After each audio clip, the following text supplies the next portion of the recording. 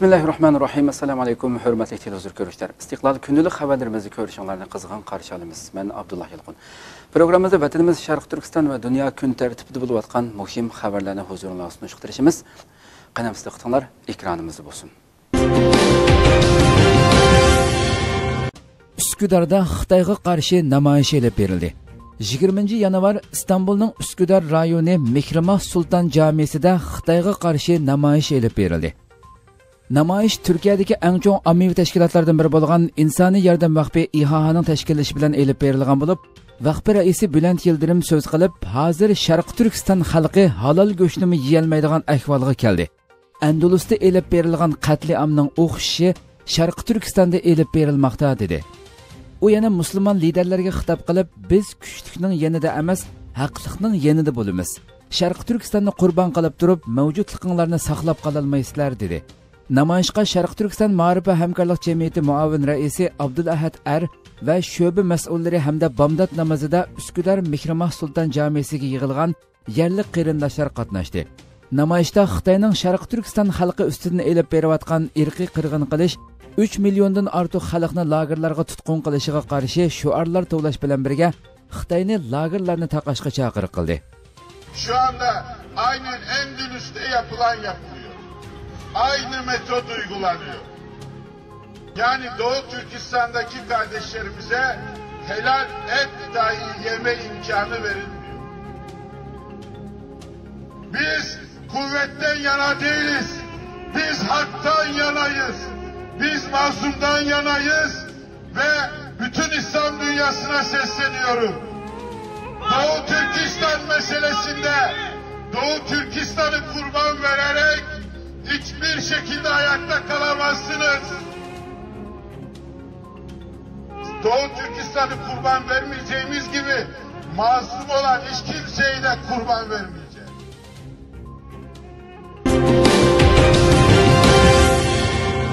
yangi nasl harakati xitoy qirg'inchiligini tunishtirishni 19 yanvar sharq turkiston yangi nasl harakati raisi doktor abdusalom taklamakan xalqaro o'quvchilar jamiyatida sharq turkistonning hozirgi vaziyat ahvolini tunishtirdi. Yig'ilishga dunyoning har qaysi joylaridan kelgan o'quvchilar qatnashdi. Jamiyat raisi abdusalom taklamakan yana 20 yanvar saodat partiyasining istanbulda o'tkazilgan xitoyga qarshi bayonot e'lon qilish yig'inida so'z qilib sharq turkistonning hozirgi vaziyat ahvolini xitoy tajovuzchilarining sharq turkiston xalqini irqiy qirg'in qilayotganligini tunishtirdi. Yig'ilishda saodat partiyasiga vakolatan bayonot e'lon qilinib xitoyni sharq turkiston xalqi ustidan elib berayotgan bostirishlarni to'xtatishga lagerlarni taqashga chaqiriq qilindi İsrail safında yer almaya ya da Rusya Çin ilkesinde birine sığınmaya zorlanmaktadır. Neredeyse tüm İslam coğrafyasında vesayet rejimleri vardır. Bağımsızlığı ilan etmiş birçok İslam ülkesinde ABD üsleri ve askeri bulunmaktadır. Bu ülkelerin asker ya da sivil yöneticileri maalesef tüm icraatlarını ABD vesayeti altında yürütmektedirler. futbol musobaqasida sharq turkiston kun tartibga keltirildi 20 yanvar turkiyada o'tkazilgan b darajalik komandalar musobaqasida sharq turkiston masalasi kun tartibga keltirildi turkiyada b darajalik komandalar qatorida to'p o'ynayotgan sakarya tantarbiya komandasi bilan kecha o'ran komandasi orasida elib berilgan musobaqada sharq turkiston kun tartibga keltirilgan bo'lib musobaqada sakarya komandasining to'p mastonalari sharq turkiston deb yozilgan plakatni ko'tarib sakarya komandasiga madad berdi. Musobaqa ikkiga qarshi ikki natija bilan tanglashdi sharq turkiston davosi turkiya xalqi orasida kun tartib bo'lishni davomlashtirmoqda. 20 yanvar izmirda sivas yeidolar jamiyatlar federatsiyasi tarafidan xitoyga qarshi namoyish elib berildi. Izmirning konak shahri gundog'du maydoniga yig'ilgan sivas yeidolar jamiyatlar federatsiyasi xitoyning sharq turkistonda elib berayotgan irqiy qirg'in qilish jinoyatini la'natladi hamda xitoyga qarshi bayonot e'lon qildi. 20 oktyabr yana adiyamandagi fatih sulton mahmad motosiklet klubining 35 kishilik a'zosi motosikletliq yo'l yurish vositasi bilan xitoyning sharq turkiston xalqi ustidan elib berayotgan bostirish siyosatiga qarshi namoyish qildi. Hamda xitoyni sharq turkistonda lagerlarga tutqun qilgan uyg'ur turklarni qo'yib berishga chaqirdi. Oxirida sharq turkiston xalqiga atab duo qildi.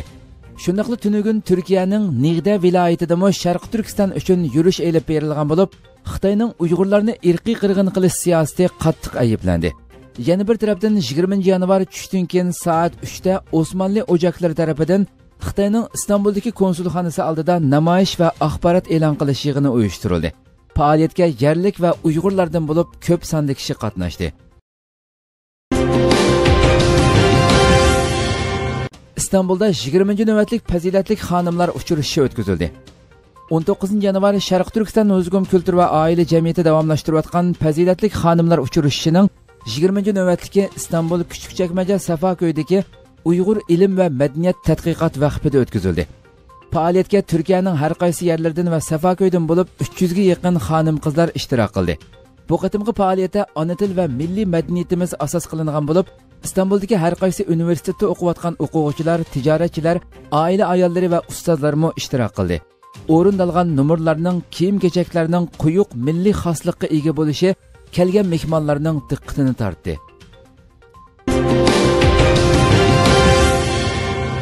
Hindoneziya ijtimoiy yordam tashkilot a'zolaridan bir hay'at Nuzugumda ziyorati bo'ldi. 20 yanvar Hindoneziya ijtimoiy yordam tashkilotidan bir hay'at Sharq Turkiston Nuzugum kultur va oila jamiyatini ziyorat qildi. Hay'at Hindoneziya ijtimoiy yordam tashkilotining ijtimoiy uchur aloqa mas'uli Liva xonim Indoneziya İctimai Yardım Təşkilatı Asiya qitəsi İctimai Yardım şöbəsinin məsuliyyəti Sujeti xanım Sakarya Universitet oxucusu Niva xanımlardan təşkillənən olub, mehmanlar Şərq Türkistan Kültür və Ailə Cəmiyyəti işxanasında kütüb edildi.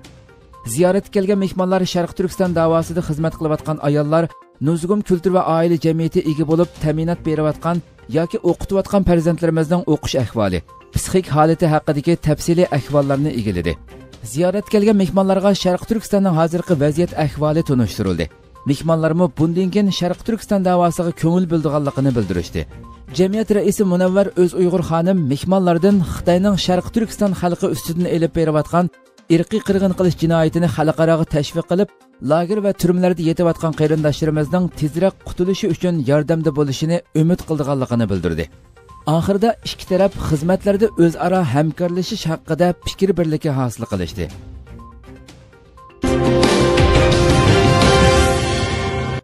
Angliya oksford universiteti Xitoy shirkati huaveyning iona pulini qabul qilishni to'xtatdi.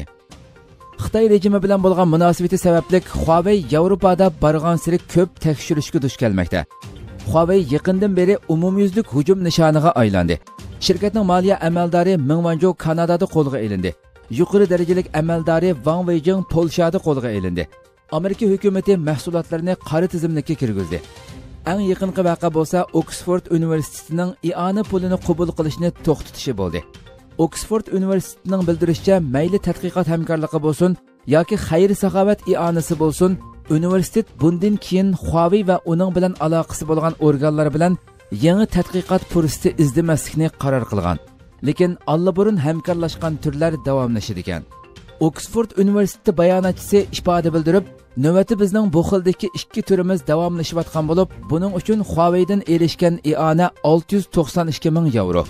Huawei shirkati allaburun iona qilishni to'xtatish haqidagi uqtirishni topshirib oldi dedi.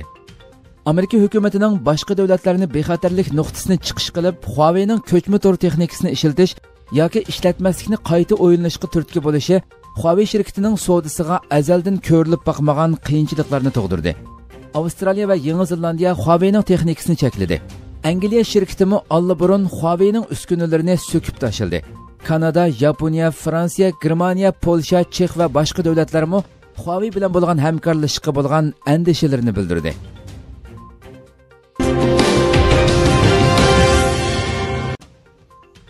Майк Pence Xitoyning xohlaganini qilishiga yo'l qo'ya olmaymiz dedi. Erkin Asiya Radyosu'nun xabarda bildirilishicha, Amerikaning muavin prezidenti Mike Pence 16 yanvar kuni Amerika tashqi ishlar ministrligida ochilgan chet ellarda turishliq bosh elchilar yig'inida so'z qilib, Amerika tashqi siyosatida bundan keyin vujudga kelish oldida turayotgan bir qism ahvollarni tunishtirdi. Mike Pence so'zida nuqtali qilib Amerikaning yangi prezidenti bo'lgan Donald Trump ijro qilayotgan tashqi siyosatlar umumiy jihatdan qaraganda dunyoning kutgan yeridan chiqmay qolganligini aytib kelib, amaliyotda dunyoning o'zida zo'r o'zgarishlar borliqqa kelganligini ilgari amerika bilan raqobatga tushadigan sobiq sovet ittifoqidan iborat birli mamlakat bo'lgan bo'lsa amdilikda bir necha kuchlik davlatning amerikadan o'rin talashayotganligini bularning ichida xitoyning qarz diplomatiyasi va tangsiz savdo orqali o'z ta'sirini oshirishga urinib kelayotganligini alohida ta'kidladi. U bu haqda alohida qilib amerika hindi tinch okean rayonining hech qandaq cheklamasiz uchuq rayon bo'lishida ching turdi.